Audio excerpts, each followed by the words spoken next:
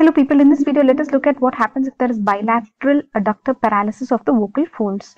Now uh, what do you see here? You see that uh, the vocal folds are uh, uh the vocal folds are usually this is the neutral position. That is the intermediate position okay? Somewhere here this is how the uh, neutral position will be. It's also called as cadaveric position. There will be no abduction and no adduction.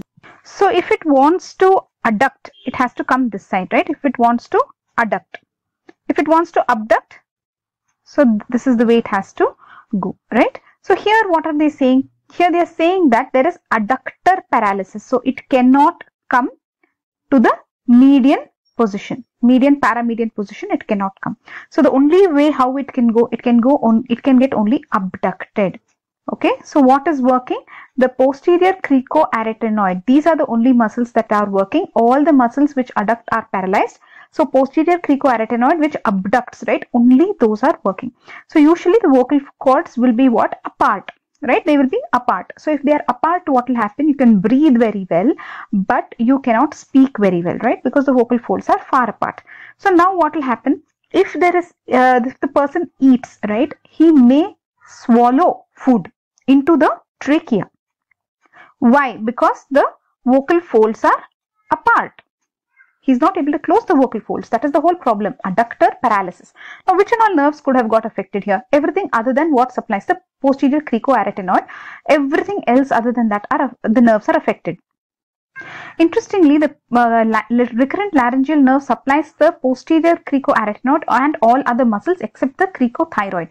So somehow this recurrent laryngeal nerve is supplying posterior cricoarytenoid because the abduction is working but all other muscles the cricothyroid and all other muscles are gone. So the recurrent laryngeal nerve seems to be working only for posterior cricoarytenoid. How is it possible? This is a very unusual, um, this is an uncommon condition, but they just want you to know what will happen if there is bilateral, bilateral adductor paralysis. That means only abduction is working. So causes here could be surgical, accidental trauma, uh, pressure on cervical nodes, neoplasms, etc. Anyways, what will be the clinical features?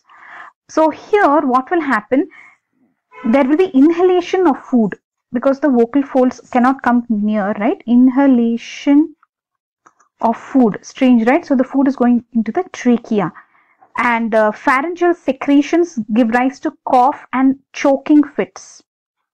Cough and choking fits. Voice is weak and husky. Yeah, because he cannot talk. The vocal cords are apart. Voice is weak and husky okay? So the cough choking fits what they're saying is um, the pharyngeal secretions uh, give rise to the cough and choking fits okay? Now what is the treatment for this? You have to bring the vocal folds close but if you bring the vocal folds close then he cannot uh, yeah he can still abduct so he can breathe isn't it? Okay so what is the treatment now for this case treatment for bilateral adductor paralysis. So he's able to abduct. So if you bring them together, then he can talk also and he can abduct by himself, isn't it? So uh, depends on the cause. So whatever the causes, you will have to fix that. Fix the cause. So cases due to neuritis may recover spontaneously. Patients with repeated aspiration may require tracheostomy tracheostomy. Why do they need tracheostomy? Because for uh, to prevent aspiration. Okay. Okay, then. So how are they doing this tracheostomy? With a cuffed tube and an esophageal feeding tube. Okay. They need tracheostomy and and a esophageal feeding tube. So they are directly going to put the food into esophagus, is it? So instead of going through all that, decide whether it will go to trachea or esophagus, directly put it into esophagus. Epiglottopexy is an operation to close the laryngeal inlet to protect the lungs from repeated aspiration. It is a reversible procedure.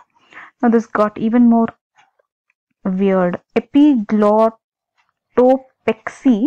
is an operation to close the laryngeal inlet to protect the lungs then how will the air go in?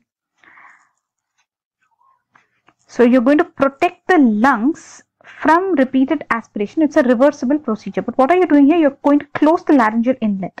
Okay. What they are saying here in the textbook is that epiglottopexy is an operation in which the epiglottis is folded backwards. This is posterior, folded backwards and fixed to the arytenoids. Here are the arytenoids. So as to prevent aspiration into the lungs. This is a reversible procedure. So if you're sticking these two together, then how the person is breathing? So you should give them a tracheostomy or something else to breathe. So that's it guys. So that covers this uh, bilateral adductor paralysis. Okay. So remember in bilateral adductor paralysis, um, they will, the uh, vocal cords will be wide apart. So they cannot bring it close. So basically they cannot talk properly and as it is open, they will be inhaling food. Okay. That's all for now. Bye bye.